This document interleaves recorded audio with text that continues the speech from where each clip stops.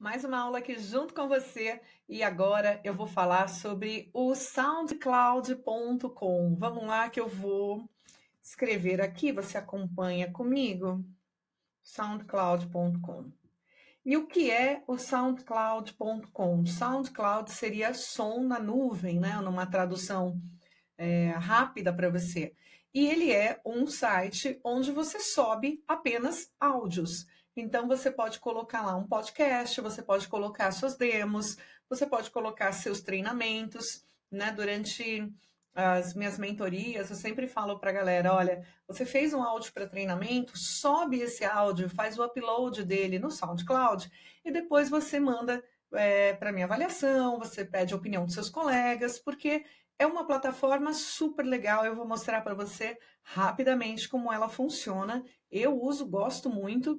Como sempre falo, não temos nenhum patrocínio deles, mas eu gosto de indicar para você as coisas que dão certo no meu trabalho e na minha experiência, nos meus 25 anos aí no ramo da locução. Vamos lá. soundcloud.com, você vai entrar aqui, se você já tiver uma conta, né? Então, você pode até pular essa aula, ou você pode criar a sua conta criando a sua conta, eles, é, o site vai pedir que você coloque o seu endereço de e-mail ou que você continue com o Facebook ou continue com o Google. Né? Você vai colocar aqui o seu perfil. Eu vou colocar aqui, é, continuar com o Google. Eu já tenho a minha conta no SoundCloud, mas eu vou colocar aqui para continuar com o Google.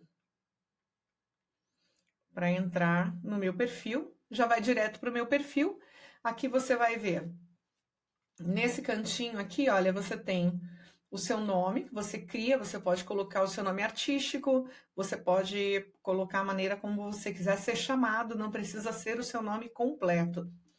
O SoundCloud é bem legal, que ele dá estatísticas do que está acontecendo no site. Olha, nas últimas, nos últimos sete dias, eu tive 24 reproduções de faixas, duas nas últimas 24 horas, um total de 25 mil reproduções dos meus áudios. Tem momentos aqui que eu deixo os meus áudios como privado, né, privados, como recém, nesses dias que eu estou fazendo as aulas, é, gravando mais e mais áudios para você aí do curso, e às vezes eu deixo pronto o, o meu SoundCloud aberto para todo mundo visitar e aí ver os trabalhos que eu já fiz. Vamos aqui no início. Né? Tem aqui paradas, top 50, você vai encontrar é, vários é, é, perfis, né? Tem, tem perfis por estilo, tem perfis por pessoas. Aqui no canto, olha, histórico de reprodução. São as últimas pessoas que eu ouvi, Matfield Voiceover. Aqui, os meus últimos áudios que foram curtidos, são trabalhos que eu já fiz. Ele me dá também sugestão de pessoas para seguir. É como se fosse um Facebook um Instagram, mas é só de áudio e é muito legal. Ele tem também o plano Pro, que é o plano pago, que te dá algumas funcionalidades, mas eu particularmente uso o gratuito. Quando eu quero subir um áudio, como é que eu faço para subir um áudio? Agora que eu já te mostrei rapidamente como funciona. Venho aqui em Upload, eu tô aqui, ó, com 53% dos uploads grátis já utilizados. Né? Tem um limite que ele te bloqueia, mas isso demora muito. Você vai vir aqui, ó, arraste e largue as suas faixas e álbuns aqui, ou escolha arquivos para fazer upload. Se você clicar aqui, você vai buscar no seu computador os seus áudios. Eu vou pegar um áudio aqui qualquer, vou colocar ali para subir. Eu posso editar o título, né? Eu posso colocar aqui VT gravado para ITS, um cliente meu. Gênero, não é obrigatório colocar nada, se for música você pode pôr um estilo. Eu posso pôr tags, locução, locutora, Malu Pontes. Eu posso descrever a minha faixa.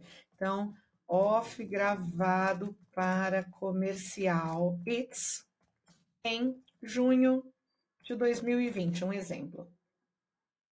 Privacidade pública ou privada, é aqui que você determina quem vai ver o seu áudio e você coloca em. Ah, aqui você pode colocar uma imagem, pode ser uma imagem sua, pode ser uma imagem do cliente, o que você quiser que apareça quando alguém for buscar ali aquela informação.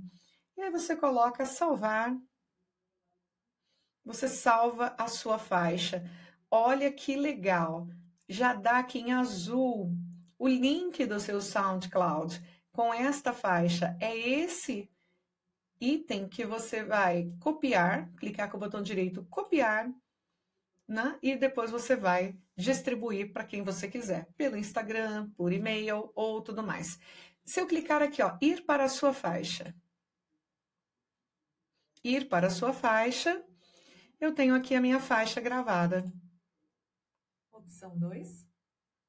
Autonomia e eficiência. É isso que você quer para o seu negócio? Então vem para a ITS Ali eu tenho meu off gravado. Eu posso distribuir para quem eu quiser, tá bom? Isso não é muito legal para você distribuir para o seu cliente, mas sim para você mostrar um trabalho depois de pronto, um treinamento depois de pronto. Você tem as opções aqui. As pessoas podem curtir a sua faixa, compartilhar, você pode compartilhar, editar. Mais opções aqui, estatísticas, estação ou até excluir faixas. Como eu não quero que isso fique público, ou que isso seja mostrado, por exemplo, que é só um off que eu usei para demonstrar para você. Aí eu achei que não ficou legal. Eu vou lá e ponho excluir faixa. Ele ainda pergunta mais uma vez se eu quero excluir para sempre e tudo mais. Sim, excluir para sempre. E aí volta para o meu perfil normal. No meu perfil tem aqui Malu Pontes Locutora, faixas, álbuns, privacidades, playlists.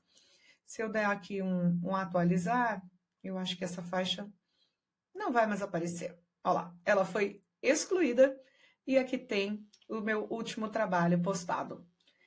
Você pode colocar os seus contatos, inclusive, se você usar essa página aqui para divulgar os seus trabalhos profissionais, é super legal.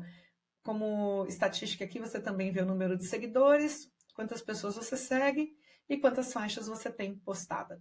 Espero que você tenha gostado dessa aula sobre SoundCloud.